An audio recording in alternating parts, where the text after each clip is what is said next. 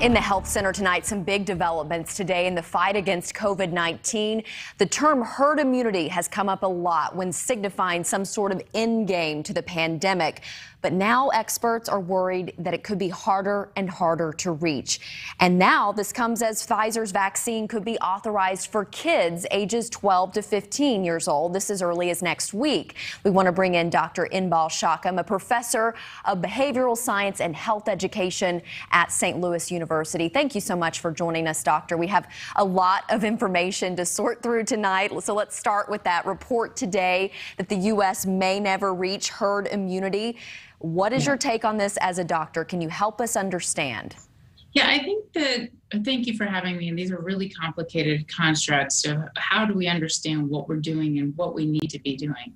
And so, one of the things that we really need to be doing is thinking about what is herd? What is the herd that we are claiming is um, our herd? So, you know, we can think about our neighborhood, we can think about our county that we live in, we can think about the state or the country and the world. So, how do we define what our boundaries are has been really difficult to uh, accomplish the idea and the, uh, the goal of herd immunity.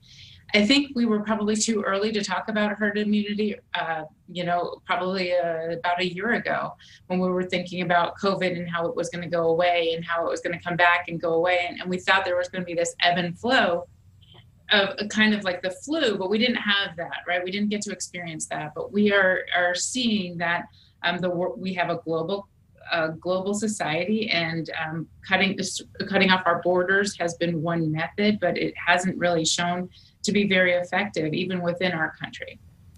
And when you talk about that gap between herd immunity and then where we are now with as many people who've received the vaccination, some people have already had COVID, that gap there. Can you talk about that gap? How do we close that gap?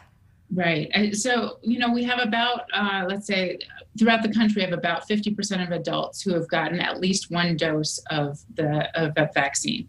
So that's fantastic, considering our time frame. It, it, it's been really fast and furious.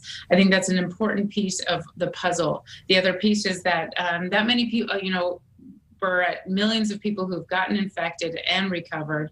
Um, and, and, we don't know how long their immunity will last. So, we, depending on when they got infected and, and um, how long their immunity lasts, by measuring their antibodies in their bloodstream. So women would be able to know how long. Um, and, and there are studies that are collecting all these data right now, but we don't know all of that in real life, right? And so um, what we are trying to figure out is the best way to say, how do we get more people vaccinated? We know that um, the Pfizer and Moderna vaccines, when when you get both vaccines, about two weeks later, you reach about 95% uh, immunity that's pretty effective for a vaccine.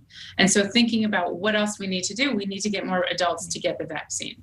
And what about the children? We got that big news today that as early as next week, the FDA could authorize the use of Pfizer's vaccine in adolescents. This is 12 to 15. Talk about the importance of, of children in, in reaching herd immunity. How, how important is it?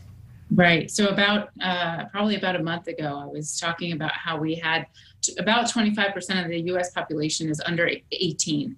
So getting herd immunity was going to be really difficult without a vaccine for a solid 25%. So what we've seen with the infection, though, and COVID infections through uh, the last year has been if when children get it, uh, they're not the youngest children are not getting it more often. So the 12 and, and older, so the middle school and high schoolers are the ones who are getting more often. So this is really good and promising news for Pfizer. Uh, I think those results and being able to start vaccinating children is really going to help. I think uh, getting children and adults more likely to get vaccinated is going to help uh, the achieve some sort of normalcy if it's not herd immunity it's going to be some more comfort in going in public places and getting to a routine pattern in our communities all right, Dr. Shacham, there's so much more we could talk about tonight, but we are out of time, unfortunately. Thank you so much for your Thank expertise. You so much.